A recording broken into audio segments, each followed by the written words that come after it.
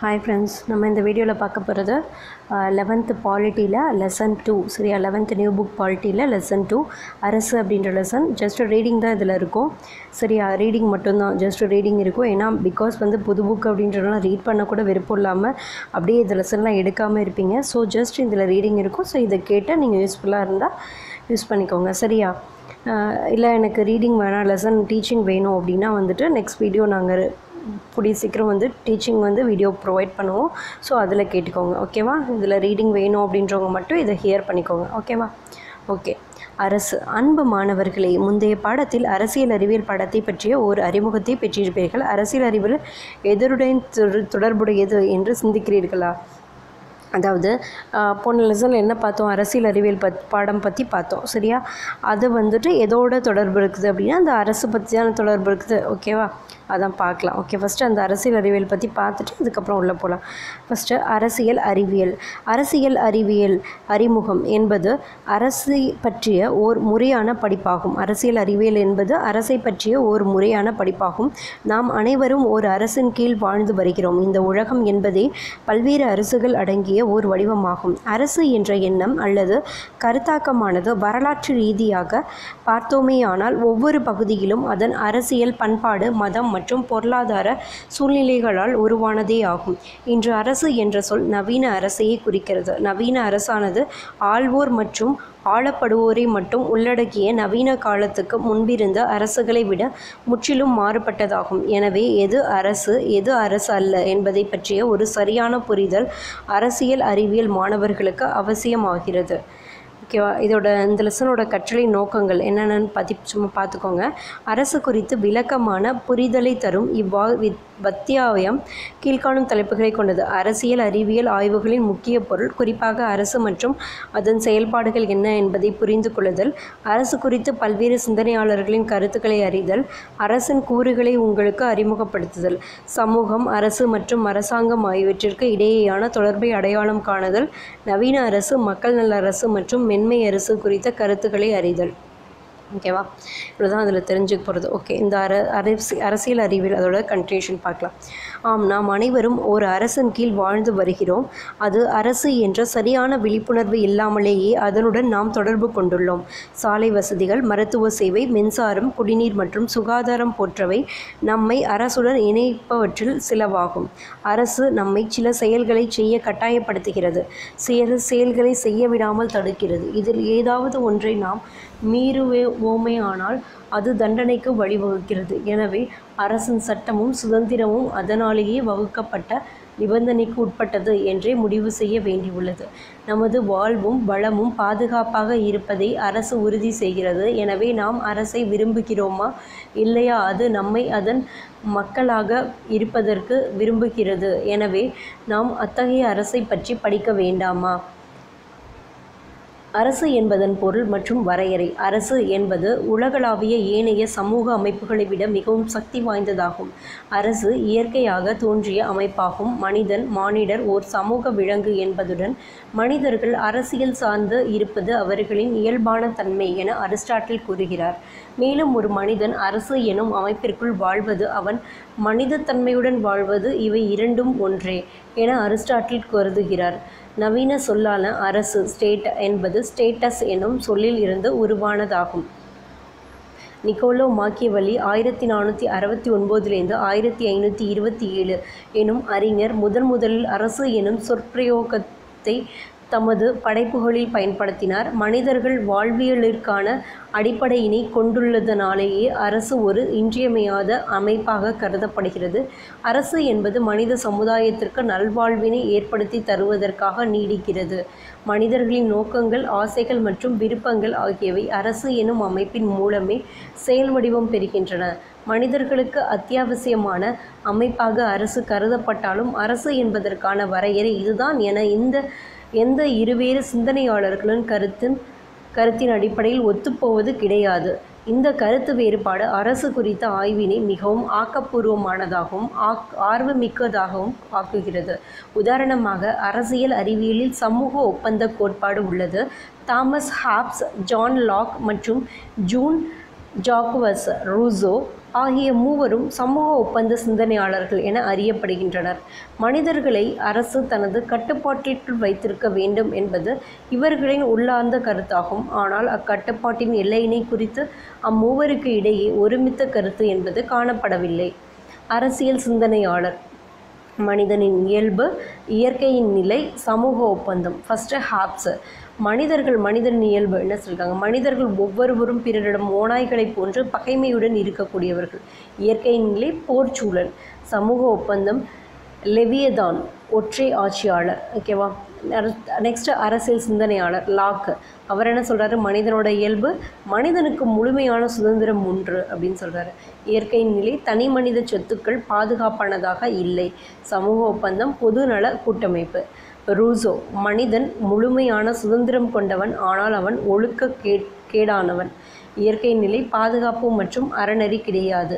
சமூக ஒப்பந்தம் அரசு பொது விருப்பத்தின் வழி நடத்தப்படும்.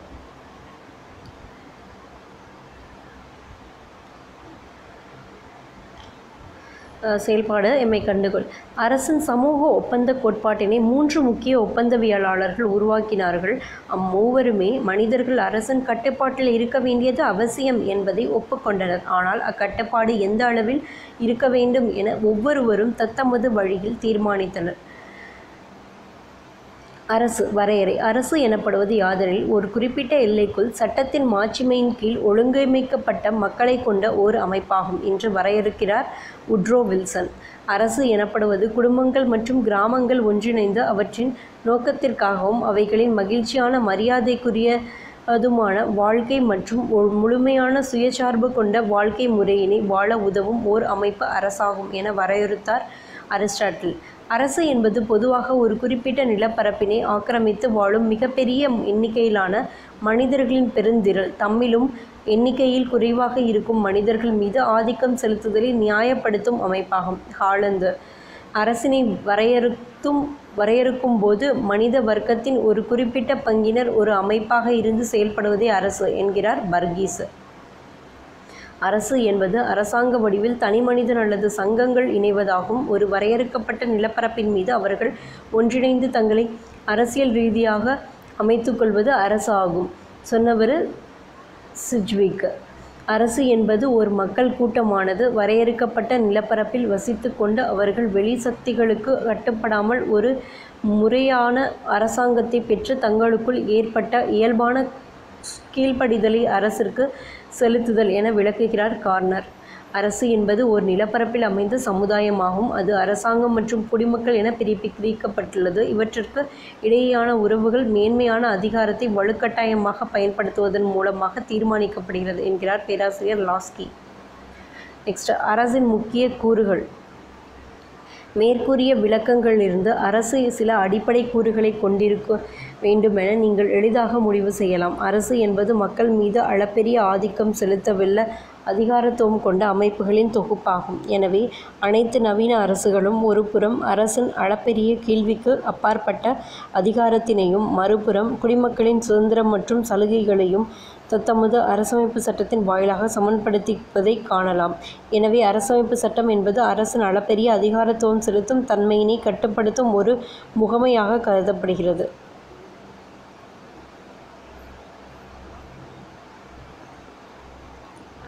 காரணம் கண்டறிக.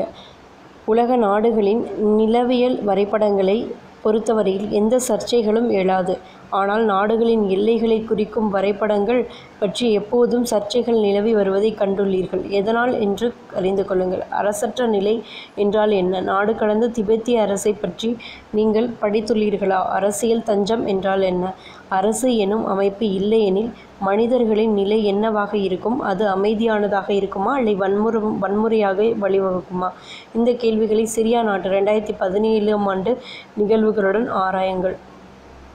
மாண்டிவீடியா எனும் நகரில் ஆயிரத்தி தொள்ளாயிரத்தி முப்பத்தி மூன்றில் நடைபெற்ற அரசுகளின் உரிமைகள் மற்றும் கடமைகளின் மீதான மாநாடு அரசு என்பதனை பற்றிய ஒரு அடிப்படை புரிதலை உன் எளி அளிக்கிறது.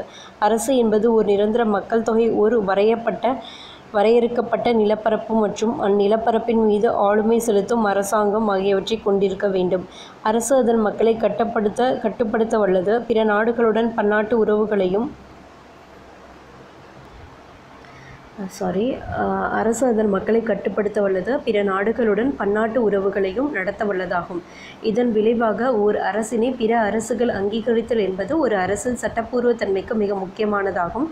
இறையாண்மை குறித்து கற்கும்போது நீங்கள் மேலும் இது குறித்து தெரிந்து கொள்வீர்கள்.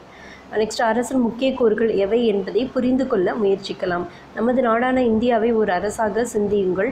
இந்தியா தன்னை ஒரு அரசு என தகுதியாக்குவதற்கு எவையெல்லாம் காரணங்கள் என்பதை புரிந்து கொள்ள முயலுங்கள். முதலில் இந்தியா ஒரு நன்கு வரையறுக்கப்பட்ட நிலப்பகுதியினை கொண்டதாகும். இந்தியாவில் இந்தியர்களான நாம் வசிக்கிறோம். இந்தியர்களுக்களான நமக்கு ஓர் அரசாங்கம் இருக்கிறது. இந்தியா உலக அரங்கில் ஒரு தகுந்த நிலையுடன் சுதந்திரமாக உள்ளது. நமது நாடு பிற அரசுகளின் ஆதிக்கத்திற்கு உட்படாதது. பிற அரசுகளுடன் இந்தியா ஒப்பந்தம் மேற்கொள்ளலாம். நமது தூதரங்கள் அனைத்து நாடுகளிலும் உள்ளன. அமெரிக்க ஐக்கிய குடியரசில் உள்ள இந்திய தூதரகம் அமெரிக்காவிலுள்ள இந்தியா என்றே அறியப்படுகிறது. புதுச்சேரியில் உள்ள பிரெஞ்சு துணை தூதரகம் இந்தியாவில் உள்ள பிரெஞ்சு பிரான்சு என்றே அழைக்கப்படுகிறது. அரசு மக்கள் மக்கள் தொகை நிலப்பரப்பு அரசாங்கம் இறையாண்மை இதெல்லாம் தான் அரசில் இருக்குது. மக்கள் மக்கள் தொகை நிலப்பரப்பு அரசாங்கம் இறையாண்மை. அடுத்தது இது முக்கியமானது. ரெண்டாயிரத்தி பதினொன்றாம் ஆண்டு மக்கள் தொகை கணக்கெடுப்பு. மக்கள் தொகை நூற்றி இருபத்தி ஒன்று புள்ளி ஜீரோ ரெண்டு கோடி. ரெண்டாயிரத்தி பதினொன்று புள்ளி விவர கணக்கெடுப்பு. ஆயிரத்தி எட்நூற்றி எழுபத்தி ஏழாம் எழுபத்தி இரண்டாம் ஆண்டு தொடங்கி தற்போது பதினைந்தாவது புள்ளி விவர கணக்கெடுப்பு. மொத்த செலவு ரூபாய் இரண்டாயிரத்தி இருநூறு கோடிகள். ஒவ்வொரு நபருக்கான செலவு ரூபாய் பதினெட்டு புள்ளி பத்தொம்போது மொத்த கணக்கெடுப்பாளர்கள் ஜீரோ புள்ளி இருபத்தி ஏழு கோடி. விவரப்பட்டியல் தயாரிக்கப்பட்ட மொத்த மொழிகள் பதினாறு. பயிற்சி கையேடு தயாரிக்கப்பட்ட மொழிகள் பதினெட்டு. காகிதங்களின் பயன்பாடு எட்டாயிரம் மெட்ரிக் டன்கள். உபகரணங்களின் பயன்பாடு பத்தாயிரத்தி ஐநூறு மெட்ரிக் டன்கள். ரெண்டாயிரத்தி ஒன்று புள்ளி விவரம். பாலின விகிதம் தொள்ளாயிரத்தி முப்பத்தி மூணு. ஆண்கள் ஐநூற்றி முப்பத்தி ரெண்டு புள்ளி ரெண்டு மில்லியன் ஐம்பத்தி ஒன்று புள்ளி எழுபத்தி நாலு சதவீதம். பெண்கள் நானூற்றி தொண்ணூற்றி அஞ்சு புள்ளி அஞ்சு மில்லியன் நாற்பத்தெட்டு புள்ளி இருபத்தெட்டு சதவீதம். ரெண்டாயிரத்தி ஒன்று புள்ளி விவரம் பாலின விகிதம் தொள்ளாயிரத்தி நாற்பது. ஆண்கள் அறநூற்றி இருபத்தி மூணு புள்ளி ஏழு மில்லியன் ஐம்பத்தி ஒன்று புள்ளி ஐம்பத்தி நாலு சதவீதம். பெண்கள் ஐநூற்றி எண்பத்தி எட்டு புள்ளி எம் ஐநூற்றி எண்பத்தி எட்டு புள்ளி அஞ்சு புள்ளி அஞ்சு மில்லியன் நாற்பத்தி எட்டு புள்ளி நாற்பத்தெட்டு சதவீதம். ஓகேவா? இந்தியாவின் மக்கள் தொகை நூற்றி இருபத்தி ஒன்று புள்ளி ஜீரோ ரெண்டு கோடி என்று கணக்கிடப்பட்டது. இது அமெரிக்கா இந்தோனேஷியா பிரேசில் பாகிஸ்தான் பங்களா பங்களாதேசம் மற்றும் ஜப்பான் ஆகிய அனைத்து நாடுகளின் மக்கள் தொகையின் ஒட்டுமொத்த கூட்டுத்தொகைக்கு சமமானதாகும். ரெண்டாயிரத்தி ஒன்று ரெண்டாயிரத்தி பதினொன்றாம் ஆண்டின் மக்கள் தொகை கணக்கெடுப்பினை விடவும் நூ பதினெட்டு புள்ளி ஒரு கோடி மக்கள் பெருகியுள்ளது இந்த கணக்கெடுப்பு காட்டுகிறது. ரெண்டாயிரத்தி ஒன்று ரெண்டாயிரத்தி பதினொன்று ஆகிய பத்தாண்டு கணக்கெடுப்பு தான் அதன் முந்தைய பத்தாண்டுகளின் கணக்கெடுப்புகளை காட்டிலும் குறைவாக மக்கள் தொகை வளர்ச்சி விகிதத்தினை பதிவு செய்த முதல் பத்தாண்டு கணக்கெடுப்பாகும். ஒட்டுமொத்த ஆண் பெண் பாலின விகிதம் ரெண்டாயிரத்தி ஒன்றாம் ஆண்டிலிருந்து ரெண்டாயிரத்தி பதினொன்றாம் ஆண்டு வரையிலான பத்தாண்டுகளில் ஏழு புள்ளிகள் அதிகரித்து தொள்ளாயிரத்தி நாற்பது புள்ளியை எட்டியுள்ளது. இந்தியாவின் மொத்த மக்கள் தொகை ஆயிரத்தி தொள்ளாயிரத்தி ஒன்றுலேருந்து ரெண்டாயிரத்தி பதினொன்று வரைக்கும். ஆயிரத்தி தொள்ளாயிரத்தி ஒன்றில் இருபத்தி மூணு புள்ளி எண்பத்தி நாலு பதினொன்றில் இருபத்தி அஞ்சு புள்ளி இருபத்தொன்று இருபத்தி ஒன்றில் ரெண்டாயிரம் இருபத்தஞ்சு புள்ளி பதிமூணு முப்பத்தி ஒன்று இருபத்தி ஏழு புள்ளி எண்பத்தி ஒன்று நாற்பத்தி ஒன்று முப்பத்தி ஒன்று புள்ளி அறுபத்தி ஏழு ஐம்பத்தி ஒன்று முப்பத்தி எட்டு புள்ளி பதினேழு அறுபத்தி ஒன்று நாற்பத்தி மூணு புள்ளி தொண்ணூற்றி ரெண்டு எழுபத்தி ஒன்று ஐம்பத்தி நாலு புள்ளி எண்பத்தி ரெண்டு எண்பத்தி ஒன்று அறுபத்தெட்டு புள்ளி முப்பத்தி மூணு தொண்ணூத்தொன்று எண்பத்தி நாலு புள்ளி அறுபத்தி நாலு ரெண்டாயிரத்தி ஒன்று நூற்றி ரெண்டு புள்ளி எண்பத்தி ஏழு பதினொன்று நூற்றி இருபத்தி ஒன்று புள்ளி ஜீரோ ரெண்டு. ரெண்டாயிரத்தி பதினொன்று மக்கள் தொகை கணக்கெடுப்பு. ஆயிரத்தி தொள்ளாயிரத்தி நாற்பத்தி எட்டாம் ஆண்டின் மக்கள் தொகை கணக்கெடுப்பு சட்டத்தின்படியும் அரசமைப்பின் வழிகாட்டுதலின்படியும் சுதந்திரத்திற்கு பிந்தைய மக்கள் தொகை கணக்கெடுப்பு பத்தாண்டுக்கு ஒரு முறை நடத்தப்படுகிறது. கடைசியாக ரெண்டாயிரத்தி பதினொன்றாம் ஆண்டில் எடுக்கப்பட்ட மக்கள் தொகை விவர கணக்கெடுப்பில் வீடுகளின் பட்டியல் வீடுகளின் எண்ணிக்கை ஆகியவைகளை முதன்மைப்படுத்தி புள்ளி விவரம் சேகரிக்கப்பட்டது. ஒரு வீட்டில் வசிப்பவர்களின் எண்ணிக்கை அதன் தலைவர் அவ்வீட்டின் வசதிகள் அதன் உள்ளிருப்பு உடைமைகள் ஆகியன அடிப்படையிலும் அவ்வீட்டின் தரை சுவர் மற்றும் மேற்கூரை ஆகியவற்றின் தன்மை போன்றவற்றை அடிப்படையாக கொண்டும் கணக்கு எடுக்கப்பட்டது. மேலும் குடும்பத் தலைவரின் பெயர் பாலினம் வகுப்பு வீட்டின் உரிமையாளர் வசிப்பிட அறைகளின் எண்ணிக்கை திருமணமான தம்பதியர்களின் எண்ணிக்கை போன்றவைகளும் கணக்கெடுக்கப்பட்டுள்ளது. கணக்கெடுப்பாளர்கள் வீட்டில் அமைந்துள்ள வசதிகள் த குடிநீர் கிடைக்கும் முறை கழிவறை கழிவுநீர் வெளியேறும் வழி குளியலறை வசதி சமையலறை சமைப்பதற்கு பயன்படுத்தப்படும் எரிபொருட்கள் போன்ற தகவல்களையும் திரட்டியுள்ளனர். கணக்கெடுப்பாளர்கள் மக்களின் வங்கி பயன்பாடுகள் மற்றும் வானொலி பெட்டி தொலைக்காட்சி பெட்டி கணிப்பொறி வலைத்தள இணைப்பு தொலைபேசி மிதிவண்டி உந்துவண்டி மகிழுந்து போன்ற சொத்துக்களையும் கணக்கெடுத்தனர். பின்வரும் அட்டவணையில் உள்ள தகவல்களின் அடிப்படையில் கீழே கொடுக்கப்பட்டுள்ள வினாக்களுக்கு விடையளி. தசாப்தம் பத்து ஆண்டுகள். மொத்த மக்கள் தொகை மில்லியனில் ஆண்டு வளர்ச்சி விகிதம். தசாப்தம்னா ஆயிரத்தி தொள்ளாயிரத்தி அந்த பத்து வருஷம் கணக்கெடுப்பு. ஆயிரத்தி தொள்ளாயிரத்தி ஒன்றில் வந்து மொத்த மக்கள் தொகை வந்து மில்லியனில் இரநூத்தி முப்பத்தி எட்டு புள்ளி நாலு. ஆண்டு வளர்ச்சி விகிதம் ஃபஸ்ட்டில் எதுவும் கிடையாது. அடுத்தது ஒரு பத்து வருஷம் கழிச்சு. ஆயிரத்தி தொள்ளாயிரத்தி பதினொன்றில் இரநூத்தி ஐம்பத்தி ரெண்டு புள்ளி ஒன்று மில்லியன். ஆண்டு வளர்ச்சி விகிதம் ஜீரோ புள்ளி ஐம்பத்தி ஆறு. ஆயிரத்தி தொள்ளாயிரத்தி இருபத்தி ஒன்றில் இரநூத்தி அறுபத்தி ஒன்று புள்ளி மூணு மில்லியன். ஜீரோ புள்ளி மைனஸ் ஜீரோ புள்ளி ஜீரோ மூணு. ஆயிரத்தி தொள்ளாயிரத்தி முப்பத்தி ஒன்றில் இரநூத்தி எழுபத்தி ஒம்பது புள்ளி ஜீரோ வளர்ச்சி விகிதம் வந்து ஒன்று புள்ளி ஜீரோ நாலு சதவீதம். ஆயிரத்தி தொள்ளாயிரத்தி நாற்பத்தி ஒன்றில் முந்நூற்றி பதினெட்டு புள்ளி ஏழு மில்லியன் ஒன்று புள்ளி முப்பத்தி மூணு. ஆயிரத்தி தொள்ளாயிரத்தி ஐம்பத்தி ஒன்றில் முந்நூற்றி அறுபத்தி ஒன்று புள்ளி ஒன்று ஒன்று புள்ளி இருபத்தஞ்சு. ஆயிரத்தி தொள்ளாயிரத்தி அறுபத்தி ஒன்றில் வந்து நானூற்றி முப்பத்தி ஒம்பது புள்ளி ஒன்று மில்லியன் ஒன்று புள்ளி தொண்ணூத்தாறு. ஆயிரத்தி தொள்ளாயிரத்தி எழுபத்தி ஒன்றில் ஐநூற்றி நாற்பத்தெட்டு புள்ளி ரெண்டு மில்லியன் ரெண்டு புள்ளி இருபது. இருபது ஆண்டு வளர்ச்சி விகிதம். ஆயிரத்தி தொள்ளாயிரத்தி எண்பத்தி ஒன்றில் அறநூற்றி இருபது எண்பத்தி மூணு புள்ளி மூணு மில்லியன் ஆண்டு வளர்ச்சி விகிதம் ரெண்டு புள்ளி இருபத்தி ரெண்டு. ஆயிரத்தி தொள்ளாயிரத்தி தொண்ணூற்றி ஒன்றில் எட்நூற்றி நாற்பத்தி ஆறு புள்ளி நாலு மில்லியன் ரெண்டு புள்ளி பதினாலு வளர்ச்சி விகிதம். ரெண்டாயிரத்தி ஒன்றில் ஆயிரத்தி இருபத்தெட்டு புள்ளி ஏழு மில்லியன் ஒன்று புள்ளி தொண்ணூற்றி ஏழு சதவீதம். ரெண்டாயிரத்தி பதினொன்றில் ஆயிரத்தி இரநூத்தி பத்து புள்ளி ஏழு மில்லியன் ஒன்று புள்ளி அறுபத்தி நாலு ஆண்டு வளர்ச்சி சதவீதம். கடந்த சப்தா சகாப்தத்தை ஒப்பிடுகையில் வேறு எந்த சகாப்தத்தில் மக்கள் தொகை குறைந்தது. மக்கள் தொகை வளர்ச்சி விகிதம் எந்த பத்தாண்டுகளில் அதிகமாக இருந்தது? மக்கள் தொகை வளர்ச்சி விகிதம் எந்த பத்தாண்டுகளில் மிகவும் குறைவாக இருந்தது? மக்கள் தொகை கணக்கெடுப்பு என்பதனை வரையறு. முக்கியத்துவம் ரெண்டாயிரத்தி பதினொன்றாம் ஆண்டு மக்கள் தொகை கணக்கெடுப்பு மூங்கிய மூன்று முக்கிய அம்சங்கள். ஜஸ்ட் கொஷின்ஸாக கேட்டிருக்காங்க. மக்கள் தொகை மக்கள் தான் அரசை உருவாக்குகிறார்கள். அரசுக்கு மக்கள் தொகை அவசியமாகும்.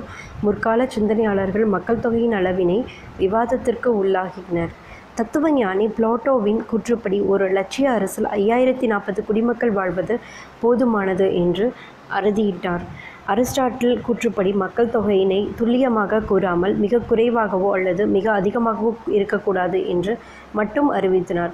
அதாவது ஓர் அரசு தன்னிறைவு பெறுவதற்கு ஏற்ற வகையிலும் அதே நேரத்தில் திறம்பட ஆட்சி செய்வதற்கு தகுந்த வகையிலும் மக்கள் தொகை இருக்க வேண்டும் என அரிஸ்டாட்டில் கருதினார். ரூசோ ஓர் லட்சிய அரசு என்பது பத்தாயிரம் மக்கள் தொகையுடையதாகவும் இருத்தல் வேண்டும் என்று கூறினார். பிளாட்டோ அரிஸ்டாட்டில் போன்ற முற்கால சிந்தனையாளர்கள் சிறிய கிரேக்க நகர அரசுகளான ஏத்தன்ஸ் மற்றும் ஸ்பாட்டாவை மனதில் வைத்துக்கொண்டு மக்கள் தொகை எண்ணிக்கையினை முடிவு செய்தனர். நவீன கால அரசுகள் மக்கள் தொகை எண்ணிக்கையில் வேறுபடுகின்றன. இந்தியாவின் ரெண்டாயிரத்தி பதினொன்றாம் ஆண்டின் மக்கள் தொகை கணக்கெடுப்பின்படி நூற்றி இருபத்தி ஒன்று புள்ளி ஜீரோ ரெண்டு கோடி மக்களை கொண்டுள்ளது. பிளாட்டோவின் கருத்துப்படி ஒரு லட்சிய அரசின் மக்கள் தொகை என்பது ஐயாயிரத்தி நாற்பது ஆகும். இந்த ஐயாயிரத்தி நாற்பது என்ற எண்ணிக்கையினை ஏன் அவர் தெரிவு செய்தார் தெரியுமா? இதற்கு முக்கிய காரணம் இந்த ஐயாயிரத்தி நாற்பது என்ற எண்ணை ஒன்று முதல் பனிரெண்டு வரையிலான எந்த எண்ணாலும் வகுக்கலாம். உதாரணமாக இந்த எண்ணினை பனிரெண்டால் வகுத்தால் மீதம் உள்ளது ரெண்டு என்ற எண் மட்டுமே.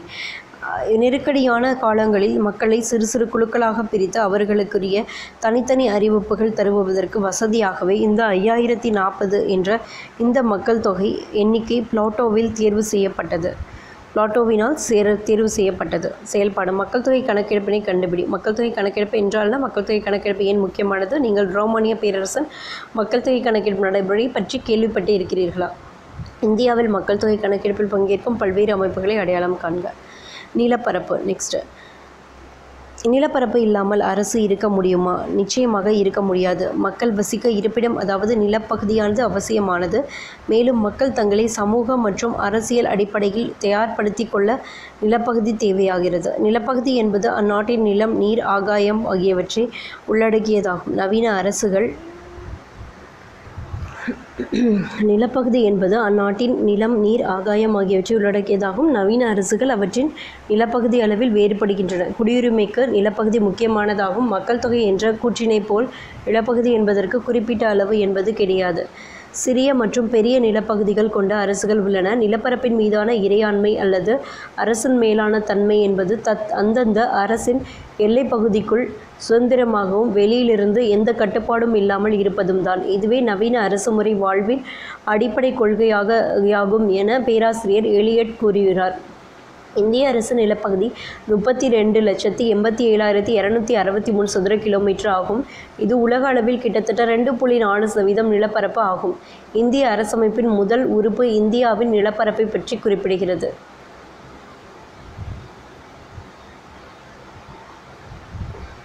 அரசு நிலப்பரப்பு என்பது தொடர்ச்சியாக இருந்தாக வேண்டுமா? அல்லது சிதறி இருக்க முடியுமா? பிரெஞ்சு அரசு நிலப்பரப்பினை ஆராயுங்கள். அண்டார்டிகாவின் நிலையினை அறியுங்கள். எது கடல் எல்லைக்கோடு என அழைக்கப்படுகிறது? மிகச்சிறிய நிலப்பரப்பினை கொண்ட அரசு இது அடுத்து உங்களுக்கு தெரியுமா? ஒரு மக்களாட்சி நாட்டில் நிரந்தர முதலமைச்சர் என்றோ நிரந்தர பிரதமர் என்றோ எவரேனும் இருக்க முடியுமா? ஒரு நபர் அமெரிக்காவின் குடியரசுத் தலைவராக அதிகபட்சமாக எத்தனை முறை தேர்ந்தெடுக்கப்படலாம்? ஏன்?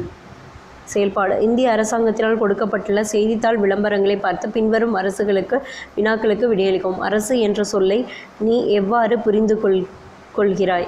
உங்களுடைய தினசரி வாழ்க்கையில் அரசாங்கத்தினால் ஏற்படும் ஏதேனும் ஐந்து தாக்கங்களை பட்டியலிடுக. ஒவ்வொருவருக்குமான விதிகளை அரசானது சட்டத்தின் வடிவில் ஏற்ற வேண்டியது ஏன் அவசியமாகிறது என்று நீ கருதுகிறாய்? அரசாங்கம். அரசாங்கம் என்பது அரசு அரசின் செயல்படக்கூடிய ஓர் முகமையாகும்.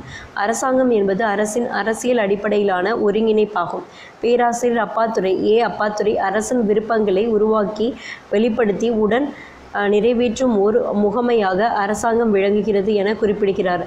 சிஎஃப் ஸ்ட்ராங் என்பவர் சட்டத்தை இயற்றி அதனை அமல்படுத்த அரசுக்கு மேலான அதிகாரம் தேவைப்படுகிறது என்று கூறுகிறார். அரசாங்கம் ஒரு நிலைப்படுத்தப்பட்ட அமைப்பாகும். அரசாங்கத்தினை வழிநடத்த அ- ஆட்சியாளர்கள் தேர்ந்தெடுக்கப்படுவதும் அவர்கள் மாறுவதும் இயல்பென்றாலும் மாறானது அரசாங்கத்தின் கட்டமைப்பாகும்.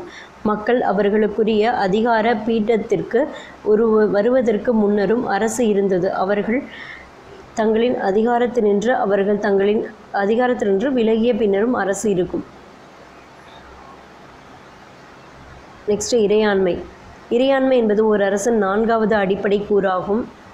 இறையாண்மை என்பதன் பொருள் மேலான மற்றும் இறுதியான சட்ட அதிகாரம் என்பதாகும். எந்த சட்ட அதிகாரம் இறையாண்மையை விட உயர்ந்ததாக இருக்க முடியாது. நவீன அரசுகள் தோன்றும் போது அதனுடன் இறையாண்மை என்ற கருத்தும் உருவாக்கப்பட்டது. இறையாண்மை என்னும் சொல் ரத்தீன் மொழிச்சொல்லான சூப்பரஸ் சுப் சூப்பரான்ஸ் சூப்பரான்ஸ் என்பதிலிருந்து பெறப்பட்டது. இது முக்கியமானது. அதற்கு உயர்ந்த அதிகாரம் என்று பொருளாகும். தொன்று தொட்டு வரும் புரிதலின்படி இறையாண்மை என்பது முழுமையானது நிரந்தரமானது அனைவருக்குமானது பிரிக்க முடியாதது தனித்துவமானது மற்றும் மாற்றித்தர இயலாதது என்பதனை என்பன போன்ற பண்புகளை உள்ளடக்கியுள்ளது. நிலப்பரப்பின் மீதான இறையாண்மை இறையாண்மையின் பெயரால் மக்கள் ஒரு அரசின் நிலப்பரப்பிலிருந்து மற்றொரு அரசின் நிலப்பரப்பிற்கு செல்வது கட்டுப்படுத்தப்பட்டது. ஆனால் ஒரு நாட்டில் இருந்து கொண்டு நீங்கள் இணையத்தை பயன்படுத்தி மற்றொரு நாட்டில் உள்ளவருடன் தொடர்பு கொள்ள முடியும். அரசின் பிரதான உரிமையான இறையாண்மையின் பார்வையில் இதனை நீங்கள் எவ்வாறு காண்கிறீர்கள்? முகநூல் ஃபேஸ்புக் ட்விட்டர் மற்றும் வலையொலி யூடியூப் போன்ற சமூக வலைத்தளங்கள் சில நாடுகளில் ஏன் தடை செய்யப்படுகின்றன என்பதை ஆராயவும் பிரான்ஸ் நாட்டைச் சேர்ந்த ஜூன் போர்டின் ஜூன் போர்டின் ஆயிரத்தி எண்ணூற்றி முப்பதுலேருந்து ஆயிரத்தி எண்ணூற்றி தொண்ணூற்றி ஏழு என்பவர் நவீன இறையாண்மை கோட்பாட்டை தந்தையாவார். ஹெரால்டு லாஸ்கி என் ஹெரால்டு லாஸ்கி கருத்துப்படி அரசு இறையாண்மை உடையதாக இருப்பதால் தான் பிற மனித கூட்டமைப்புகளிலிருந்து வேறுபடுகிறது. சமுதாயம் அரசு மற்றும் அரசாங்கம். சமுதாயம் அரசு மற்றும் அரசாங்கம் என்பதன் பொருள் என்ன என்று நாம் ஆராய்வோம். மேலும் அவை ஒன்றுக்கொன்று எவ்வாறு தொடர்பு கொண்டுள்ளன என்பதையும் காண்போம். அரசு சமூகம் அரசாங்கம். சமுதாயம் அரசு அரசாங்கம் இவை எவ்வாறு ஒன்றுடன் ஒன்று தொடர்புடையதாக உள்ளன. நாம் ஒவ்வொருவரும் ஒரே நேரத்தில் குடும்பம் சமுதாயம் மற்றும் அரசு எனும் அமைப்புகளில் வாழ்கின்றோம். இதற்கென்ன பொருள்? சமுதாயமும் அரசும் எவ்வாறு ஒன்றுடன் ஒன்று தொடர்பு கொண்டுள்ளன? அரசு மற்றும் சமுதாயத்துடன் அரசாங்கத்திற்கு என்ன தொடர்பு? மனிதர்கள் வேட்டையாடி வாழ்ந்த வரலாற்று ரீதியிலான பண்டைய நிலையிலிருந்து பரிணாம வளர்ச்சியடைந்து ஒரு இடத்தில் நிலையாய் கூடிக்கொண்டு குடிகொண்டு வாழும் நிலைக்கு வந்த பின்பு ஒவ்வொருவரும் பொருட்களை உற்பத்தி செய்ய தொடங்கினர். குடும்பங்களின் செறிவு சமூகம் எனவும் சமூகங்களின் செறிவு நாம் என்று காணும் சமுதாயமாகவும் ஆனது. தனிநபர்கள் தங்கள் உளவியல் தேவைக்காக மற்றவரை சார்ந்து இருந்ததினால் குடும்பம் எனும் அமைப்பில் வாழ்ந்து வந்தனர். குடும்பங்கள் தங்கள் பாதுகாப்பிற்காகவே சமூகம் எனும் கட்டமைப்பின் கீழ் வந்தன. இவ்வாறு அமையப்பெற்ற சமூகங்கள் தங்களின் மேம்பட்ட பாதுகாப்பிற்காக சமுதாயம் எனும் அமைப்பினை தோற்றுவித்தன. சமுதாயத்தில் வாழ்பவருடைய தேவை அதே சமுதாயத்தின் ஒட்டுமொத்த கூட்டு உற்பத்தி மூலம் பூர்த்தி செய்யப்பட்டது. இவர் இவ்வாறே தனித்தனியாக இவ்வாறு மனிதரும் தத்தமது அன்றாட உணவிற்காக உழைப்பானது பொருள் உற்பத்தியை தோற்றுவிக்கும். இதனாலேயே உற்பத்தி செய்யப்பட்ட பொருட்கள் அவற்றின் மூல நோக்கத்தினை நிறைவேற்றுவதற்கு சந்தை மற்றும் வாணிபம் எனும் அமைப்புகள் உருப்பெற்றன. இவ்வாறு உற்பத்தி செய்யப்பட்ட பொருட்கள் சந்தைப்படுத்தப்படும் போதும் வர்த்தகம் செய்யப்படும் போதும் பலம் பொருந்திய மனிதர்களின் கட்டுப்பாட்டில் அவை செல்லும் சாத்தியமும் உள்ளது. அவ்வாறு சமுதாயமானது வலியோரின் ஆளுகைக்குள் வருமாயின் அது சமுதாயத்தின் சிதைவிற்கு வழிவகுக்கும். சமுதாயம் சீரழிந்து போகும்போது அதன் தாக்கம் சமூக குழுக்களின் மீதும் ஏற்படும். சமூகங்கள் சிதைவு ஏற்படும் போது குடும்பங்களும் சிதையத் தொடங்கும். குடும்பங்கள் சிதையத் தொடங்குவதனால் ஒவ்வொருவரும் துன்புற நேரிடும். இவ்வாறு ஒரு சரி செய்ய இயலாத சீரழிவை தடுக்கும் பொருட்டே மனிதர்கள் ஒன்றுபட்ட பகுத்தறிவின் வழிகாட்டுதலின் பேரில் அரசு எனும் மாட்சிமை பொருந்திய வலிமையோடு இருக்கக்கூடிய அமைப்பின் அவசியத்தினை உணர்ந்தனர். மனிதர்கள் ஒருவருக்கொருவர் தம்மை அழித்து கொள்வதிலிருந்து அவர்களை காக்கும் நோக்கிலேயே அதிகாரங்கள் குவிக்கப்பட்டு அவ்வதிகாரங்களை நிர்பந்திக்கும் அதிகாரமும் கொண்ட அரசு எனும் அமைப்பு தோற்றுவிக்கப்பட்டது. நவீன அரசுகளில் மனிதர்கள் மீதான இக்கட்டுப்பாடுகள் சட்டத்தின் வழியாக உரிய வழிமுறை விதிமுறைகள் மூலம் மேற்கொள்ளப்படுகின்றன. மக்களாட்சி சட்டங்கள் சட்டமன்றத்தால் இயற்றப்படும். இயற்றப்பட்ட சட்டங்கள் செயலாட்சித்துறை மூலமாக நடைமுறைப்படுத்தப்படும். நீதிமன்றத்தால் இச்சட்டங்களின் சட்டப்பூர்வத்தன்மை மற்றும் நீதி பரிபாலனத்தன்மை ஆகியன ஆய்வு செய்யப்படும் வருகின்றன. சட்டமியற்றுதல் இயற்றிய சட்டத்தை அமலாக்குதல் மற்றும் அதற்கு விளக்கமளித்தல் ஆகியன அரசாங்கத்தின் பணிகளாகும். அதிகார பிரிவினை என்ற தலைப்பின் கீழ் நீங்கள் மேலும் இது குறித்து அறியலாம். செயல்பாடு. கல்வியிலிருந்து விலை வேலைவாய்ப்பு வரை அரசு எவ்வாறு செயலாற்றுகிறது என்பதை அடையாளம் காண்க. மேலும் விவசாயத்துறைக்கு அரசு அளிக்கும் மானியம் தொழில்துறையின் சிறப்பான செயல்பாட்டிற்காக அரசு ஏற்படுத்தும் ஒழுங்குமுறைகள் மற்றும் சேவைத்துறைக்கு அரசு அளிக்கும் ஆதரவுகள் ஆகியவற்றை கண்டறிக. விவசாயம் தொழிற்சாலைகள் மற்றும் சேவைகளை ஊக்கப்படுத்த தமிழ்நாடு அரசு முன்னெடுத்துள்ள நடவடிக்கைகள் பின்வருமாறு. விவசாயம் விதைகளுக்கு அளிக்கப்படும் மானியம் மற்றும் இலவச மின்சாரம் ஆகியவை விவசாயிகளுக்கு விவசாயத்தை லாபகரமாக்குகிறது. சேவைகள். சர்வதேச முதலீட்டாளர்கள் மாநாடு ரெண்டாயிரத்தி பதினாறாம் ஆண்டு தமிழ்நாட்டில் நடைபெற்றது. தமிழக நிதிநிலை அறிக்கையில் சேவைகளுக்கான வரி சலுகைகள் அறிமுகப்படுத்தப்பட்டன. தொழிற்சாலைகள் ஒற்றைச்சாளர முறையில் அனுமதி வழங்கும் முறை. நிலம் கையகப்படுத்தலை எளிமையாக்குதல். இருபத்தி நாலு கிராஸ் ஏழு என்ற அடிப்படையிலான தடையற்ற மின் விநியோகம். அரசு மற்றும் சமுதாயத்திற்கு இடையே உள்ள முக்கிய வேறுபாடுகள். சமுதாயம் என்பது தனிநபர்கள் குடும்பங்கள் குழுக்கள் மற்றும் அமைப்புகள் ஆகியவற்றை உள்ளடக்கியதாகும். ஆரம்பகால அரசியல் சிந்தனையாளர்கள் அரசு மற்றும் சமுதாயம் ஆகிய இரண்டும் ஒன்றே என்று கருதினர். அரசு என்பது சமுதாயத்தின் பகுதியாகும். எனினும் அதுவே சமுதாயத்தின் வடிவமாகி விட்டது விட விடாது. நெக்ஸ்ட்டு அரசு சமுதாயம். இது ரெண்டுக்குள்ள டிஃப்ரென்ஸு சமுதாயம் தோன்றிய பின்னரே அரசு என்ற அமைப்பு தோன்றியது. சமுதாயமானது அரசு தோன்றுவதற்கு முன்னரே தோன்றியது. அரசு. அரசின் எல்லை வரையறுக்கப்பட்டது. சமுதாயம் சமுதாயத்தின் பரப்பெல்லை பரந்ததாகும். அரசு. அரசுக்கு ஒரு நிலையான நிலப்பரப்பு உண்டு. சமுதாயம் சமுதாயத்திற்கு என நிலையான நிலப்பரப்பு எதுவும் இல்லை. அரசு. அரசு என்பது அரசியல் சார்ந்த அமைப்பாகும். சமுதாயம் சமுதாயம் என்பது ஒரு சமூக அமைப்பாகும். அரசிற்கு சட்டங்களை நடைமுறைப்படுத்தும் அதிகாரம் உள்ளது. சமுதாயத்திற்கு அத்தகைய அதிகாரங்கள் எதுவும் இல்லை. அரசு மற்றும் சமுதாயத்தின் உறுப்பினராகும். தன்மை என்பது ஒன்றேயாகும். ஆனால் அவை இரண்டும் தத்தமது நோக்கங்களில் மாறுபடுகின்றன. அரசு என்பது ஒரு மிகப்பெரிய ஆனால் ஒரே ஒரு நோக்கத்திற்காக உள்ளது. ஆனால் சமுதாயம் எண்ணிலடங்காத நோக்கங்களுக்கானதாகும். இவற்றில் சில பெரிய நோக்கங்கள் மற்றும் சில சமயம் சிறிய நோக்கங்கள் உள்ளன. சமுதாயத்தின் நோக்கங்கள் ஆழ்ந்ததாகவும் பரந்ததாகவும் காணப்படுகின்றன. அரசு என்பது சட்டம் சார்ந்த ஒன்றை அமைப்பதாகும். ஆனால் சமுதாயம் என்பது பல அமைப்புகளை உள்ளடக்கியதாகும். அரசு மக்களின் மீது தன் அதிகார வலிமையை பயன்படுத்தி அவர்களை கீழ்ப்படிய வைக்கிறது. ஆனால் சமுதாயமோ மக்களின் மனமுவந்த செயல்பாட்டையே ஊக்குவிக்கிறது. சமுதாயத்தின் பல்வேறு தேவைகளை அது இசைவான வழியில் செயல்படும் முறையே தேவையானதாகுகிறது சமுதாயத்தில் பல்வேறு அமைப்புகள் இருந்து இருப்பதால் ஒருவர்தான் கட்டாயப்படுத்துவதாக கருதினால் அதிலிருந்து விடுபட்டு வேறு அமைப்பில் தம்மை இணைத்துக்கொள்வதற்கு வாய்ப்புள்ளது. நீர்ப்பந்தத்தின் மூலமாக வா அமைப்புகள் செயல்பட முடியாது. அதன் வாயிலாக வலியுறுத்தும் அதிகாரமற்ற அரசும் மக்களை அவர்களின் சுய விருப்பத்துடன் தன்னகத்தை வைத்துக்கொள்ளும் தூண்டல் இல்லாத சமுதாயமும் வீழ்ச்சியடையும் என்பதை நீங்கள் புரிந்து கொள்ளலாம். அரசு மற்றும் அரசாங்கம். பேச்சு வழக்கில் அரசும் அரசாங்கமும் ஒரே பொருளில் பயன்படுத்தப்பட்டு வருகின்றன. ஆனால் உண்மையில் அரசு என்பதும் அரசாங்கம் என்பதும் வெவ்வேறானவை ஆகும். பின்வரும் அட்டவணையிலிருந்து அரசிற்கும் அரசாங்கத்திற்கும் உள்ள வேறுபாடுகளை அறியலாம். அரசு அரசு என்பது மக்கள் தொகை நிலப்பரப்பு அரசாங்கம் மற்றும் இறையாண்மை ஆகிய நான்கு கூறுகளை கொண்டதாகும். அரசாங்கம் அரசாங்கம் என்பது அரசு நான்கு கூறுகளில் ஒன்றாகும். அரசு அரசு மூல அதிகாரங்களை பெற்றதாகும். அரசாங்கம் அரசாங்கத்தின் அதிகாரங்கள் அரசிடமிருந்து பெற்றவையாகும். அரசு அரசு என்பது நிரந்தரமானது என்பதுடன் என்றென்றைக்கும் நீடித் நீடித்திருப்பதாகும். அரசாங்கம். அரசாங்கம் என்பது தற்காலிகமானதாகும். மக்கள் விருப்பத்தின் பேரில் அரசாங்கங்கள் மாற்றப்படலாம். அரசு. அரசு என்பது காண முடியாததும் புலனாகாததும் ஆகும். அரசாங்கம். அரசாங்கம் என்பது உறுதியானது மற்றும் காணக்கூடியது. நவீன அரசு. நவீன அரசை பற்றி தெரிந்து கொள்ளும் முன்னர் உங்களுக்கு நவீனத்துவம் பற்றிய புரிதல் வேண்டும். நவீனத்துவம் என்றால் என்ன? நவீன அரசு என்றால் என்ன? நவீன அரசு அறிவியல் மற்றும் தொழில்நுட்பத்திற்கு நவீனத்துவம் பற்றிய பங்களிப்புகளை வரிசைப்படுத்துக. மேலை நாட்டு பழக்க வழக்கங்கள் நவீனத்துவத்தோடு நெருங்கிய தொடர்புடையதாக கருதப்படுகிறது. அவிஷாய் மார்காலெட் அவிஷாய் மார்காலெட் அவர்களின் மேலை நாட்டு பழக்க வழக்கங்கள் தொடர்பான நூல்களை பற்றி கேள்விப்பட்டிருக்கிறீர்களா? மகாத்மா காந்தியடிகள் தமது இந்து சுயராஜ்யம் எனும் நூலில் நவீனத்துவத்தை எதனால் கடுமையாக விமர்சிக்கிறார்? விவாதம். காந்தியடிகள் நவீனத்திற்கு எதிரானவரா? காந்தியடிகளின் கருத்தை நீ ஏற்றுக்கொள்கிறாயா? வகுப்பறையில் இது தொடர்பான ஒரு விவாதத்தை நடத்து. நவீனத்துவம் என்பதனை வரலாற்று அடிப்படையில் பார்த்தால் மரபுகளை கேள்வி கேள்விக்குட்படுத்தி அதன் மூலம் காலம் தொட்டு வந்த நம்பிக்கைகளை பழக்க வழக்கங்களை சமூக பண்பாட்டு நெறிமுறைகளை நிராகரிக்கும் காலகட்டம் நவீனத்துவமாகும். தனி மனிதத்துவ மனித சமத்துவத்திற்கு முன்னுரிமை சமத்துவம் சுதந்திரம் வாழ்வின் ஒவ்வொரு நிலையிலும் அறிவியல் மனப்பாங்கினை வளர்த்தல் போன்றவற்றிற்கு நவீனத்துவம் அடித்தளமிட்டது. நவீனத்துவம் மக்களை விவசாயம் சார்ந்த நிலையிலிருந்து தொழில்மயம் நகரமயம் ச மதச்சார்பின்மை நோக்கி வழி நடத்தியது.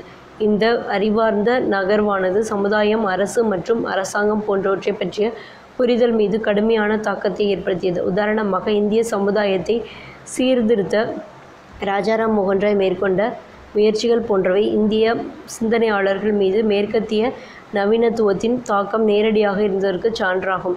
அரசியல் அறிவியல் பாடத்தில் நவீனத்துவமானது அரசு சுதந்திரம் சமத்துவம் நீதி முதலிய கருத்தாக்கங்களின் மீது தாக்கத்தை ஏற்படுத்தியது.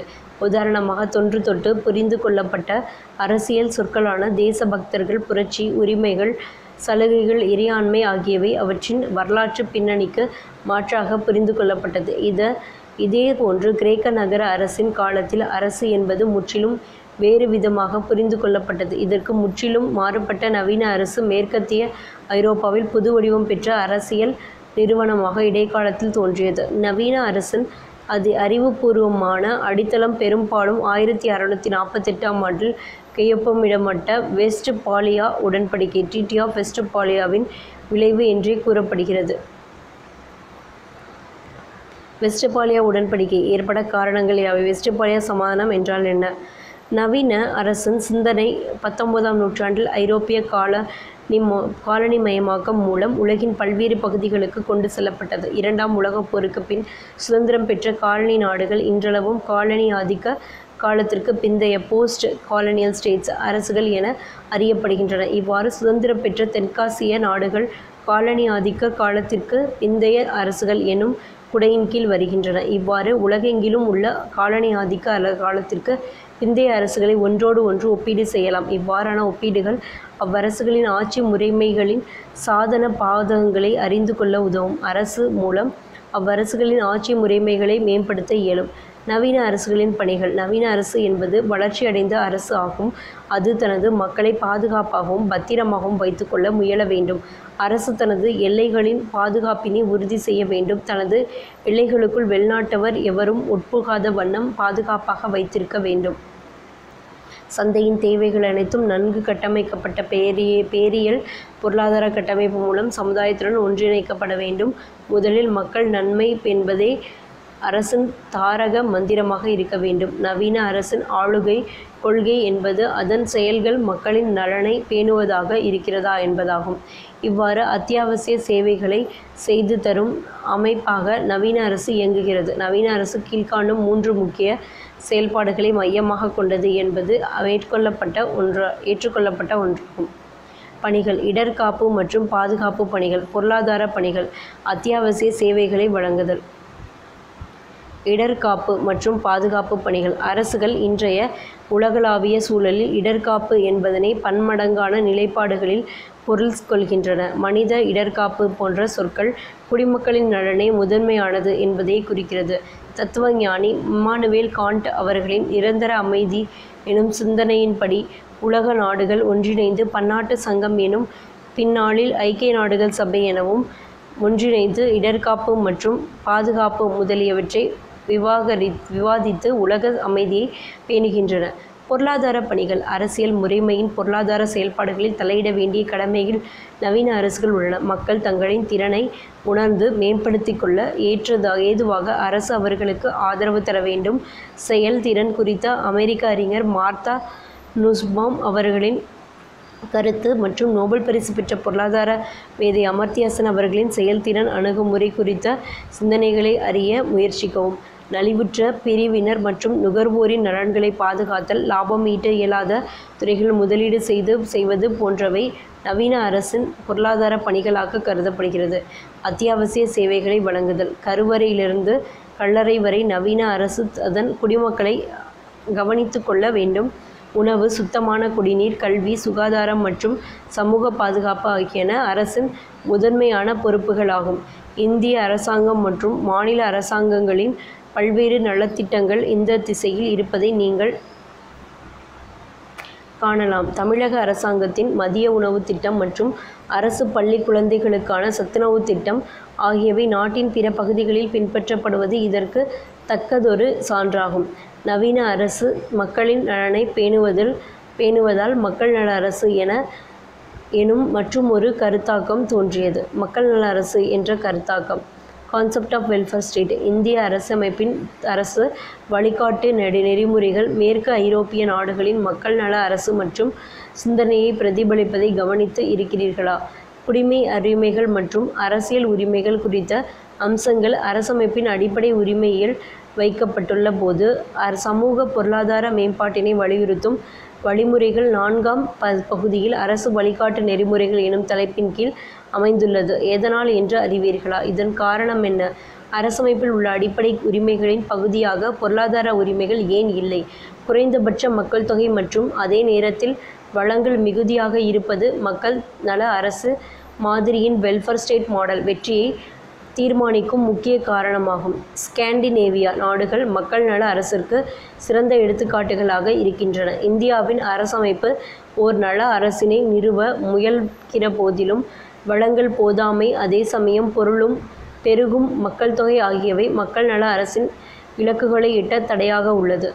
மக்கள் நல அரசு என்ற கருத்தாக்கம் இரண்டாம் உலகப் போருக்கு பின்னர் மேற்கு ஐரோப்பாவில் ஏற்பட்டதாகும். மக்கள் நல அரசில் அரசாங்கத்தினிடையே முதன்மை சிந்தனை என்பது மனித வளர்ச்சியில் ஒரு முக்கிய பங்காற்ற வேண்டும் என்பதாகும். குடிமக்களின் நல்வாழ்விற்கான பாதுகாப்பு மற்றும் மேம்பாட்டினை பேணுதல் நல அரசின் பங்காகும். குடிமக்களின் பொருளாதார மற்றும் சமூக நலன் பின்வருவனவற்றின் அடிப்படையிலானதாகும்.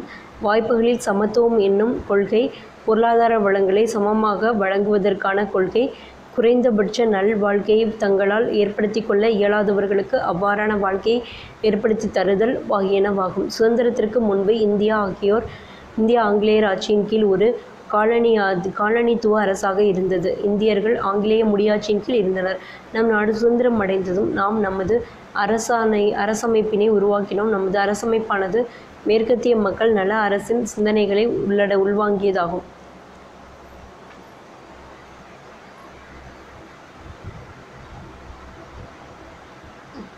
மக்கள் நல அரசு மகாத்மா காந்தி ஊரக வேலைவாய்ப்பு திட்டம் கல்வி உரிமை சட்டம் தேசிய உணவு பாதுகாப்பு சட்டம் ஆகியவற்றின் அவசியத்தினை ஆராயிடவும். இத்திட்டங்களில் உறுதி செய்யப்பட்டுள்ள உரிமைகள் சட்டப்பூர்வ உரிமைகளா அல்லது கு அடிப்படை உரிமைகளா? கடந்த ஐந்து ஆண்டுகளில் இந்த சட்டங்களை நடைமுறைப்படுத்துவதற்கான மொத்த செலவு? மக்கள் நல அரசு எனும் கருத்தாக்கத்திற்கு ஜே. எஸ். மில் மற்றும் எச். ஜே. லாஸ்கி அளித்த பங்களிப்புகள். இதெல்லாம் சும்மா செயல்பாட்டில் கொடுத்துருக்காங்க. நெக்ஸ்ட்டு.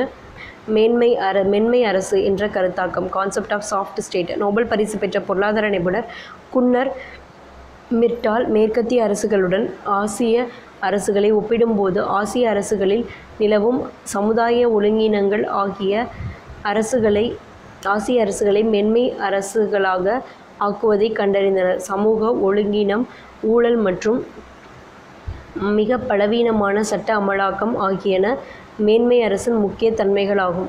முழு வளர்ச்சி பெறாத ஆளுமை திறன்கள் கொண்ட காலனி ஆதிக்க காலத்திற்கு பிந்தைய நாடுகள் மென்மை அரசுகளாக வகைப்படுத்தப்படுகின்றன.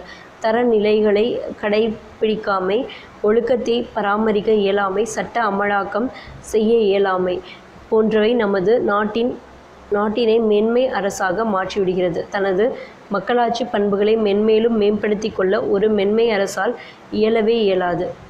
ஒரு மாணவராக நீங்கள் காணும் சமுதாய ஒழுங்கினங்களையும் அவற்றை சீர் செய்வதற்காக உங்களின் வழிமுறைகளையும் பட்டியலிடுக.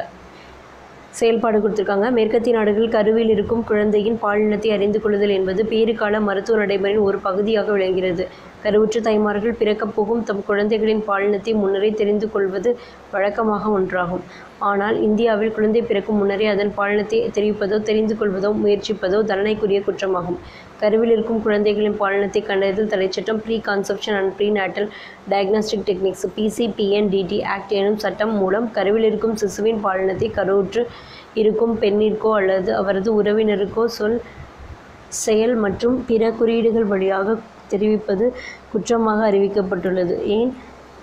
மென்மை அரசு மற்றும் மென்மை அதிகாரம் ஆகியவற்றிற்கு இடையேயான வேறுபாடுகளை கருத்தில் கொண்டு இன்றைய சுதந்திர இந்தியாவுடன் ஒப்பிட்டு கூறுக. நெக்ஸ்ட் மிகை மேம்பாட்டு அரசு என்ற கருத்தாகும். Concept of over developed state தெற்காசிய அரசுகள் பெரும்பாலும் நவீன மக்களாட்சி தத்துவத்தின் படி இயங்கும் அரசுகளாகும். ஆனால் அவை வளர்ச்சியில் மேற்கத்திய நாடுகளை விட பின்தங்கிய பின்தங்கியிருப்பதன் காரணம் யாது? இந்நாடுகளின் ஆளுகை அமைப்புகளான நாடாளுமன்றம் அதிகார வர்க்கம் திட்டமிடும் துறைகள் போன்றவை இறக்குமதி செய்யப்பட்ட நிலவியல் ஆஹ், சூழலுக்கேற்ப காலனி ஆதிக்க காலத்திலேயே மாற்றப்பட்டு செயல்பட்டு கொண்டிருந்தாலும் வளர்ச்சி என்பது மிக மந்தமாகவே இருப்பதை நாம் காண முடிகிறது. வளர்ச்சி வேகம் மிகவும் மெதுவாகவே இந்நாடுகளில் இருப்பதற்கான காரணம் என்ன? இதனை எடுத்துக்காட்டி ஹம்சா அலாவி பாகிஸ்தான் மற்றும் வங்க வங்கதேசம் ஆகிய நாடுகளின் ஆளுமைத்தன்மை நெருக்கடியினை விளக்குகிறார். காலனி ஆதிக்க காலத்திற்கு பிந்தைய நாடுகளின் செயல்படாத தன்மையினை விளக்கம் பொருட்டு மிகை மேம்பாட்டு அரசு எனும் கருத்தாக்கம் செயல்படுகிறது. காலனி ஆதிக்க காலத்தின் போதும் அதற்கு பின்னரும் தொடரும் அதிகார வர்க்க ஆளும் ஆளுகை கட்டமைப்பு மூலமாக மிகை மேம்பாட்டு அரசு புரிந்து கொள்ளப்படுகிறது. காலனி ஆதிக்க கால அடி அடிமைத்தள தலையில் இருந்து இந்நாடுகள் விடுபட்டாலும் புதிதாக பெறப்பட்ட அரசியல் சுதந்திரத்தின் தாக்கத்தினை அந்நாடுகளில் உள்ள நிர்வாக குட்- கட்டமைப்புகள் எந்த வகையிலும் உள்வாங்கவில்லை. ஐரோப்பிய காலனி ஆதிக்க சக்திகள் இரட்டை வேடமிட்டு தங்கள் நாட்டு ஆரோக்கிய அரசியலினை தங்கள் ஆளுமையின் கீழ் உள்ள காலனி ஆதிக்க நாடுகளுக்கு வழங்கவில்லை. அவர்களின் நாடுகளில் அரசுகள் என்பவை குடிமக்களின் அரசியல் வாழ்வு சுதந்திரம் மற்றும் பொருளாதார சுதந்திரம் போன்ற உரிமைகளை நிலைநாட்டி மக்களுக்கு அதிக சுதந்திரம் வழங்கிய அமைப்பாக கருதப்பட்டன. மக்கள் அரசினை தங்கள் செல்லப்பிராணி என்று கருதினர். ஆனால் அதே ஐரோப்பியர்கள் தங் அதற்கு நேர் எதிராக தங்களின் காலனி ஆதிக்க நாடுகள் அரசமைப்புகள் கொடூரமானதாகவும் இருக்குமாறு வடிவமைத்தனர். அதிகார குவிப்பு என்பது என்பது பெரும் அளவில் காலனி ஆதிக்க அரசின் வசம் இருந்தது. இதனால் காலனி ஆதிக்கம் செய்யப்பட்ட நாடுகளில் இருந்து மிக எளிதாக செல்வங்களை சுரண்டி அவர்கள் தங்கள் நாட்டிற்கு கொண்டு செல்ல முடிந்தது. காலனி ஆதிக்க நாடுகள் அவர்கள் உருவாக்கி வைத்திருந்த அதிகார வர்க்கம் இதற்கு மிக முக்கிய மிக சிறப்பாக உதவி புரிந்தது. நாட்டை சுரண்ட உதவிய இவ்வகை அமைப்புகளை நாடு சுதந்திரம் அடைந்த பின்னரும் பெரும் மரபாகவே கருதி பிந்தைய ஆட்சியாளர்கள் தொடர்ந்தனர். அதிகார வர்க்கமும் தன்னை பெரிய அளவில் உருமாற்றமும் செய்து கொள்ளவில்லை. செயல்பாடு தண்ணீர் தண்ணீர் என்று தமிழ் திரைப்படத்தை பார்க்க முயற்சிக்கவும். இத்திரைப்படத்தின் மைய கருத்தினை விவா- தமிழ் திரைப்படம் தண்ணீர் தண்ணீர். தமிழ்நாட்டில் ஒரு சிறிய கிராமம் தண்ணீர் பற்றாக்குறையை எதிர்கொள்கிறது. அப்பிரச்சனையை தீர்க்க கிராமத்தவர்கள் முயற்சிக்கும் போது அவர்கள் அதிகார வர்க்கத்தினரின் கைகளில் படும் துயரங்களை படும் படம் வெளிப்படுத்துகிறது. சமுதாயம் மற்றும் அதன் பொருளாதாரம் நவீனமயமாக்கப்படாத நிலையில் அவற்றை கட்டுப்படுத்தும் மாட்சிமை பெற்ற அமைப்பான அரசு மற்றும் மட்டும் நவீனமயமாக்கப்பட்டால் நவீனமாக்கப்பட்டால் அது அரசையும் அதன் அங்கமான சமுதாயத்தினையும் ஒன்றோடொன்று தொடர்பில்லாத இரு வேறு கூறுகளாக ஆக்கிவிடும். இது அரசு இயந்திரத்திற்கும் மக்களுக்கும் ஒரு பெரிய இடைவெளியினை ஏற்படுத்திவிடும். இவ்வகையான பிரதிநிதித்துவ மக்களாட்சியில் மக்களுக்கு எது நன்மை பயக்கும் என்பது மக்களால் தீர்மானிக்கப்பட மாட்டாது. அதற்குள் அதற்கும் மாறாக செல்வாக்கு மிக்க ஒரு சிலரால் மட்டுமே தீர்மானிக்கப்படும்.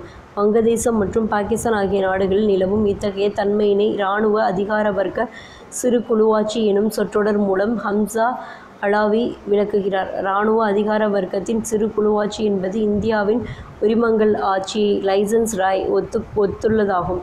காலனி ஆதிக்க கால அனுபவத்தில் இருந்து இந்தியாவில் தொடரும் அதிகார குவிப்பு குறித்த கவலைகள் தொடர்ந்து மத்திய அரசாங்கத்திற்கும் கவனத்திற்கு வருவதை காணலாம். மிகை மேம்பாட்டு அரசு என்ற கருத்தாக்கம் பற்றி முன்பு வேறு விதமாக புரிந்திரு புரிந்திருந்தேன். நிச்சயமாக யோசிக்கிற மாதிரி கொடுத்துருக்காங்க. காலனி ஆதிக்க காலத்திற்கு பிந்தைய அரசு என்ற கருத்தாக்கம். Concept of post colonial state colony ஆதிக்கம் இருந்த நாடுகளில் காவல்துறையினருக்கு மக்கள் அஞ்சுவது போல் அதே நாட்டினை தனது காலனி ஆதிக்கத்தில் வைத்திருந்த மேற்கத்திய நாடுகளில் மக்கள் அவர்களது காவல்துறையினரை கண்டு அஞ்சுவதில்லை. ஏன்? என அறிக. காலனி ஆதிக்கத்தின் கீழ் இருந்த நம் நாட்டில் தற்போது அரசாங்க ஊழியருக்கு மக்களிடையே அதிக அதீத செல்வாக்கு மற்றும் மரியாதை நிலவுவதை காண்க. ஆனால் மேற்கத்திய நாடுகள் அரசாங்க ஊழியர்கள் சமமான சாமானிய மனிதர்களுக்கு சமமாகவே நடத்தப்படுவதை அறிக. அதே நேரத்தில் காலனி ஆதிக்கத்தினால் அந்நாடுகளுக்கு நன்மைகள் ஏதேனும் ஏற்பட்டனவா? அவற்றை பட்டியலிடுக. இரண்டாம் உலகப் போருக்கு பின்னர் காலனி ஆதிக்கத்தின் பிடியிலிருந்து விடுபட்டு உருவான புதிய தேசிய அரசுகள் காலனி ஆதிக்கத்திற்கு பிந்தைய அரசுகள் என அழைக்கப்படுகின்றன. மேம்பாட்டு அரசுகள் எனவும் காலனி ஆதிக்கத்திற்கு பிந்தைய அரசுகள் எனவும் இவை அழைக்கப்படுகின்றன. அரசின் கட்டமைப்பை பொறுத்தவரை காலனி ஆதிக்கத்திற்கு பிந்தைய அரசுகளில் காலனி ஆதிக்க கால அரசுகளின் இயல்புகள் அப்படியே உள்ளன. ஆனால் தற்பொழுது அரசின் கட்டமைப்புகளுக்கிடையே குறிக்கோள்கள் காலத்திற்கு ஏற்றாற்போல் மாற மாறிவிட்டதை காணலாம். பொதுவாக காலனி ஆதிக்கத்திற்கு பிந்தைய அரசுகளில் அதிக அளவிலான வறுமை அரசியல் நிலையற்ற தன்மை மற்றும் ஆளுகையில் திறனின்மை போன்றவை காணப்படுகிறது. நவீன அரசுக்கும் மரபுசார் அதிகாரத்தை தன்னகத்தை கொண்டுள்ள சமுதாயத்திற்கும் உள்ள முரண்பாடுகளே இதற்கு காரணமாக காரணம் எனலாம். உலகின் புதிய பகு பகுதிகளுக்குள் நுழைந்த காலனி ஆதிக்க சக்திகள் அங்கே நிலவிய பாரம்பரிய மரபுகள் மற்றும் பண்பாட்டினை அழித்தவுடன் அழித்ததுடன் தங்கள் மரபுகளையும் பண்பாட்டினையும் தொடர்ந்து திணித்தவாறு இருந்தனர். இவ்வாறு இறக்குமதி செய்யப்பட்ட மரபுகள் மற்றும் பண்பாடுகளுடன் மாற்றத்திற்கு உள்ளான மக்கள் தங்கள் நாடு விடுதலை அடைந்தவுடன் காலனி ஆதிக்க அடையாளங்களை துறந்து தங்களுக்கென சுய அடையாளங்களை ஏற்படுத்தும் உடனடி கட்டாயத்திற்கு தள்ளப்பட்டனர். அதனால் ஏற்பட்ட முரண்பாடுகளை களைந்து அவர்கள் தன்னம்பிக்கையுடன் தங்களின் புதிய தேசிய அடையாளத்தினை ஏற்படுத்தி கொள்ள வேண்டியதாயிற்று. இது காலனி ஆதிக்கத்திற்கு பிந்தைய அரசுகளில் ஆழ்வோருக்கும் ஆளப்படுவோருக்கும் இடைவெளி ஏற்பட்ட ஒரு முக்கிய காரணமானது. இன்றளவும் காலனி ஆதிக்கத்திற்கு பிந்தைய அரசுகளில் ஆழ்வோர் அன்னிச்சையாக நடந்து கொள்வதை காணலாம். அறிஞர் பொருட்கள் கிளாசரி அரசு ஸ்டேட் ஒரு நாடு அல்லது எல்லைப்பகுதி ஓர் ஒருங்கிணைக்கப்பட்ட அரசு சமூகமாக அமைந்து ஒரு அரசாங்கத்தின் கீழ் அமைவது அரசாகும். அரசாங்கம் கவர்மெண்ட் ஒரு நாட்டை அதிகாரப்பூர்வமாக கட்டுப்படுத்தும் அதிகாரம் பெற்ற ஒரு மக்கள் குழுவை அரசாங்கம் என்கிறோம்.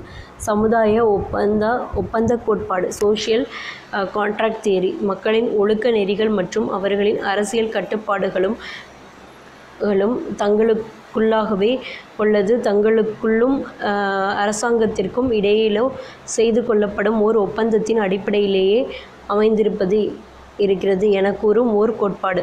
அரசமைப்பு கான்ஸ்டிடியூஷன் ஓர் அரசோ அல்லது ஓர் நிறுவனமோ எப்படி நடத்தப்பட வேண்டும் என்பதற்கான அடிப்படை கொள்கைகளும் சட்ட விதிகளும் உள்ளடக்கிய ஓர் எழுதப்பட்ட ஆவணம். இடர்காப்பு செக்யூரிட்டி ஒரு அரசு எந்தவிதமான அச்சுறுத்தலுக்கும் அப்பாற்பட்டு விளங்கும் நிலை. சமுதாயம் சொசைட்டி மக்கள் ஒருங்கிணைக்கப்பட்ட ஒரு பெரிய குழுவாக இணைந்து பணிகளை எப்படி பங்கிட்டுக் கொள்வது எந்த முடிவுகளை ஒப் எப்படி எடுப்பது போன்றவைகளை அவர்களுக்குள்ளேயே தீர்மானித்து கொள்ளும் தன்மை படைத்த ஓர் அமைப்பு சமுதாயம் எனப்படும். நாட்டு மக்கள் அனைவரையும் அல்லது அதே போன்று பிற நாட்டினரையும் சமுதாயம் என குறிப்பிடலாம். தனி மனிதத்துவம் இண்டிவிஜுவலிசம் அரசின் கட்டுப்பாட்டிலிருந்து பாடுகளிலிருந்து அப்பாற்பட்டு ஓர் தனி மனிதனின் சுதந்திரமான செயல்பாடுகளை உறுதி செய்யும் கோட்பாடு. ஸ்காண்டினேவியா இது வடக்கு ஐரோப்பாவில் உள்ள டென்மார்க் நார்வே ஸ்வீடன் ஆகிய மூன்று நாடுகளின் ஒருங்கிணைந்த பகுதியை குறிப்பதாகும். அதிகார வர்க்கம் பியூரோக்ராசி ஒரு நிறுவனத்தையோ அமைப்பையோ அல்லது ஒரு நாட்டையோ எழுதப்பட்ட சட்டத்தின் சட்டத்திட்ட விதிமுறைகளின் அடிப்படையில் மிகவும் எச்சரிக்கையோடு நிர்வகிக்கும் அல்லது நடத்தும் அதிக எண்ணிக்கையில் பணியமர்த்தப்பட்ட அதிகாரிகளை குறிப்பதாகும். மேற்கத்திய நாடுகள் வெஸ்டர்ன் கண்ட்ரீஸ் உலகின் மேற்கு மேற்கு பகுதியில் உள்ள ஐரோப்பிய மற்றும் வட அமெரிக்காவில் உள்ள நாடுகளை குறிப்பதாகும். ஓகேவா? இதோட இந்த லெசன் அவள் தான். செகண்ட் லெசன் ரீடிங் முடிஞ்சது. இந்த ரீடிங்கை மறுபடி மறுபடி கிளியர் பண்ணுங்கள் உங்களுக்கு இந்த இருக்க எல்லா விஷயங்களும் ரெஜிஸ்டர் ஆகும். ஓகேவா? பட் ஒன் டைம் கேட்டிங்கன்னா பத்தாது கண்டிப்பாக பிகாஸ் வந்து லெசன்ஸில் நிறைய விஷயங்கள் இருக்குது. நிறைய சின்ன சின்ன வேர்ட்ஸ்க்கான மீனிங்ஸ்லாம் இருக்குது. ஸோ அதே மாதிரி அந்த டூ தௌசண்ட் லெவன் அந்த கணக்கெடுப்பு பற்றி கொடுத்துருக்காங்க. ஸோ இது எல்லாமே முக்கியமானது? தான் ஸோ முக்கியமானது. ஸோ வந்துட்டு திரும்ப திரும்ப ஒரு three times four times clear பண்ணுங்கள் உங்களுக்கு கண்டிப்பாக இது நல்லா மறக்காது. ஓகேவா? Okay bye